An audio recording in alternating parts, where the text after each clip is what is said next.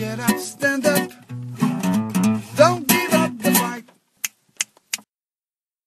Herzlich willkommen bei Steuer XL, Ihrem gute Laune Kanal auf YouTube. Die Straßen. Welcher Freiheitliche kennt es nicht, wann immer man sich über Steuern unterhält und jemandem versucht zu erklären, wie böse Steuern sind, kommt als erstes das große Gegenargument, aber die Straßen, das von Gott gegebene Ding, das sonst keiner hinbekommt außer dem Staat, das unsagbar teuer ist und das eine Steuerbelastung in unendlicher Höhe quasi rechtfertigt.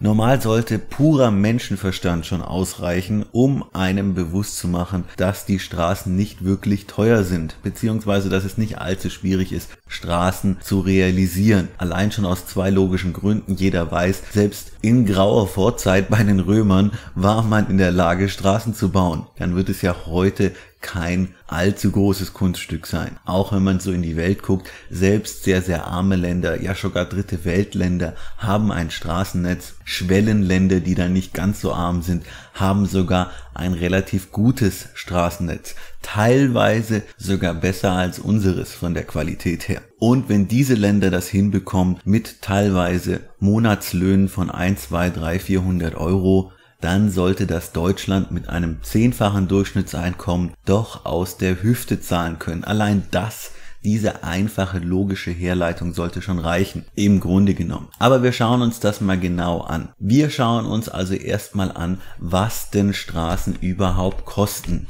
Hier habe ich eine Grafik gefunden, die das Ganze wieder richtig teuer aussehen lässt. Und zwar haben wir einen großen Nachholbedarf, weil wir es ja jahrelang schleifen lassen haben. Wir wissen natürlich, weil der Staat viel zu wenig Steuereinnahmen hatte, der Arme. Die sind zwar in den letzten zehn Jahren um knapp 50 Prozent gestiegen, aber es ist trotzdem immer zu wenig. Das kennen wir ja schon. Also 67 Milliarden sollen die Straßen kosten. Das klingt natürlich auf den ersten Blick sehr viel, aber hier steckt der Teufel wieder im Detail.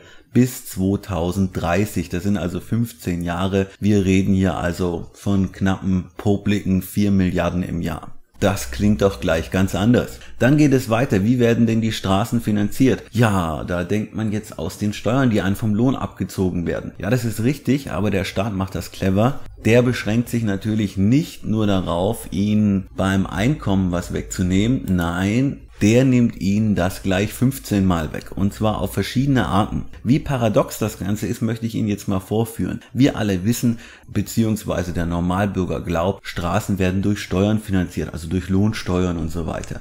Ja, theoretisch richtig, da wird auch was davon weggenommen, aber wir werden gleich sehen, dass dies ein Irrglaube ist beziehungsweise nicht nötig. Dann gibt es ja noch die schöne Kfz-Steuer, die jeder von uns jedes Jahr zahlen muss. Da kommt auch noch einiges zusammen. Dann gibt es seit einigen Jahren die Autobahnmaut, die alleine so hoch ist wie die ganzen Straßenkosten. Aber wir lassen das mal alles weg. Wir lassen mal außer Acht, dass allein die LKWs im Grunde schon unsere Straßen finanzieren. Wir lassen außer Acht, dass wir eine Kfz-Steuer zahlen und wir lassen außer Acht, dass von unseren Steuern noch was weggenommen wird. Obwohl wir diese drei enormen Punkte, die die Straßen schon mehrfach finanzieren würden, weglassen, kommt der dicke Batzen erst jetzt. Schnallen Sie sich an, jetzt geht's rund. Wir verbrauchen in Deutschland 18 Millionen Tonnen Diesel und 30,5 Millionen Tonnen Benzin. Das sind zusammen fast 50 Millionen Tonnen. Um genau zu sein,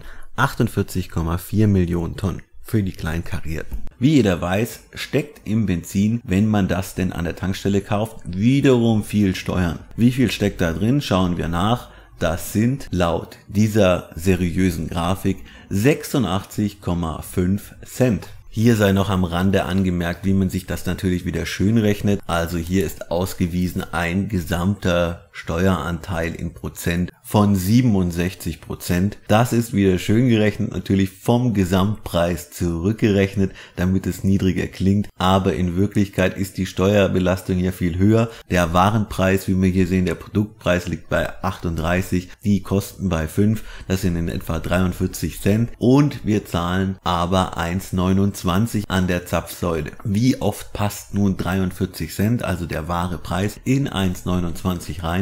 Richtig ausgedrückt zahlen wir also auf den Benzinpreis, auf den realen Benzinpreis 200% Steuern, weil wir eben nicht 43 Cent zahlen, sondern den dreifachen Preis, nämlich 1,29.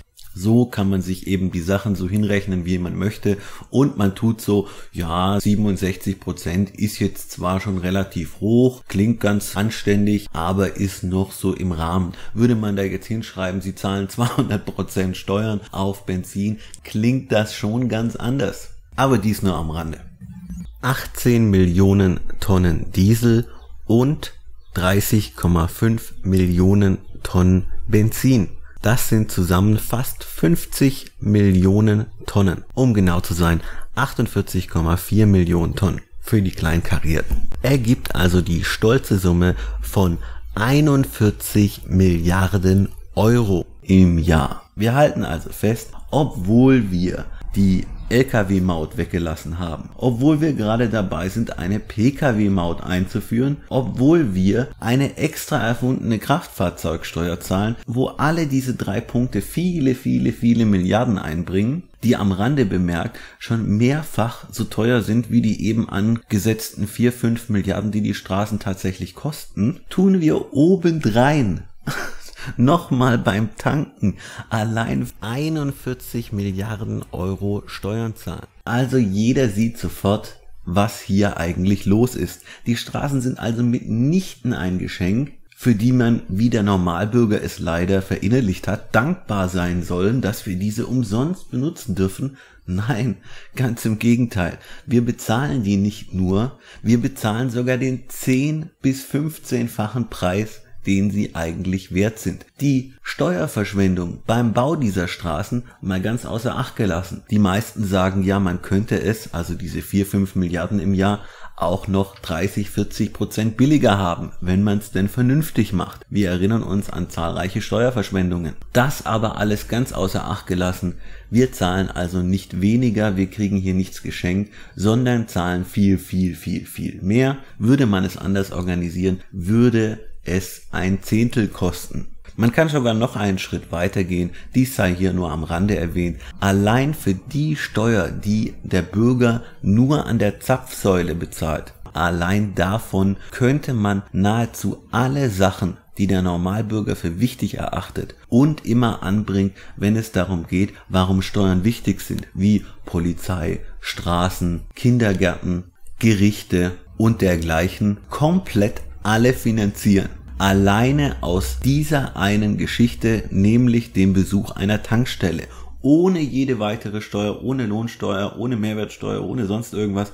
Nur mit dem Besuch der Tankstelle könnte man dies alles finanzieren. Und Sie wissen alle ganz genau, in Wirklichkeit zahlen Sie noch 20 mal mehr an anderen Stellen. Abschließend rechne ich Ihnen noch kurz vor, was Sie denn wirklich tatsächlich an Steuern bezahlen für Ihr Auto. Jetzt waren wir ja gerade nur bei der Benzinsteuer. Wollen wir die Sache noch kurz rund machen.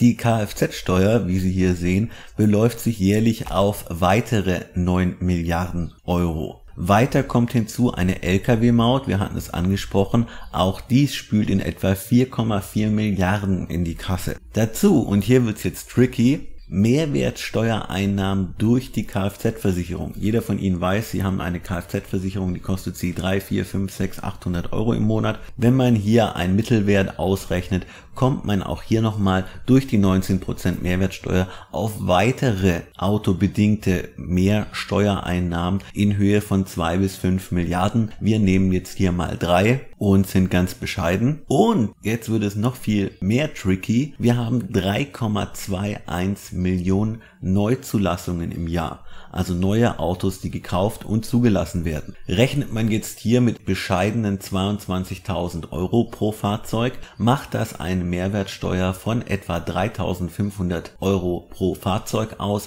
3.500 Euro pro Fahrzeug mal 3,21 Millionen Neuzulassungen machen dann nochmal schlappe 11 Milliarden Euro aus, die der Staat jährlich durch Autos einnimmt. Ich bin sicher, ich habe sogar noch ein, zwei, drei, vielleicht auch zehn kleine bis größere Sachen jetzt in meiner Quick and Dirty Version übersehen. Aber wir halten nochmal zum Abschluss fest. Insgesamt zahlt der deutsche Steuerzahler über 60 Milliarden Euro. Um genau zu sein, 68,4 Milliarden Euro im Jahr für Autofahren beziehungsweise für Straßen. Und im Vergleich dazu, wie wir gerade festgestellt haben, liegen die realen Kosten für die Straßen bei etwa 2 bis 5 Milliarden Euro, je nachdem, wie man es denn nun rechnen möchte. Wobei man mit 2 Milliarden schon sehr weit kommen würde, wenn man denn wollte. Wir sehen also, Sie, der Bürger, selbst die ganz, ganz, ganz kleinen Leute, zahlen wesentlich mehr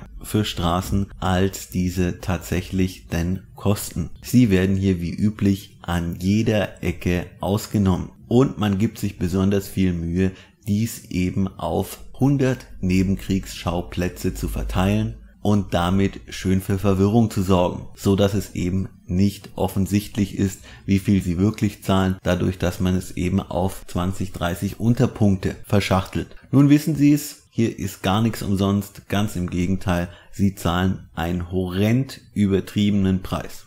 Am Rande bemerkt, nur mal so als Vergleich. 68 Milliarden Euro im Jahr. Das entspricht in etwa dem Staatshaushalt von ganz Polen. Also nur das, was der deutsche Bürger für Straßen im übertragenen Sinne bezahlt, wie wir gerade berechnet haben, entspricht dem gesamten Staatshaushalt von Polen. Das Land, das auf Platz 35 steht im internationalen Vergleich von 200 Ländern. Es gibt also nur 34 Länder auf der Welt, die mehr Steuereinnahmen haben als Polen. Und dennoch zahlt der Deutsche allein für Straßen so viel wie Polen für sein komplettes Staatswesen zur Verfügung hat. Hier in der Liste lassen Sie sich nicht überraschen. Hier sind 92 Milliarden aufgeführt.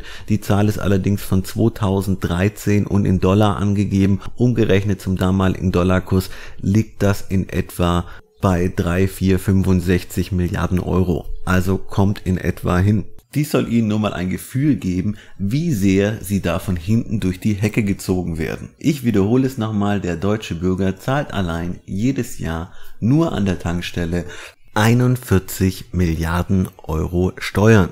Ist das Leben nicht wunderbar? Ich gehe jetzt mal auf die kostenlosen Straßen und genieße mein Leben und danke dem Herrn, dass er mir diese wunderbaren, kostenlosen, unbezahlbaren Geschenke der modernen Wissenschaft diesen Betonklecks zur Verfügung gestellt hat, ohne dass ich dafür irgendwas getan habe. Danke dem Herrn, preise den Herrn. Was bin ich für ein glücklicher Mensch. Man hat mir Straßen geschenkt.